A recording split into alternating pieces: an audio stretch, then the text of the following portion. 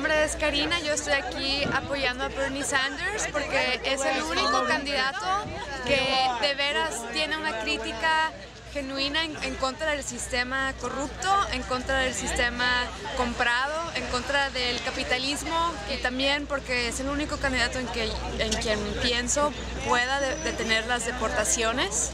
y pueda detener el número, bajar los números de los inmigrantes que están encarcelados, encarcelados, encarcelados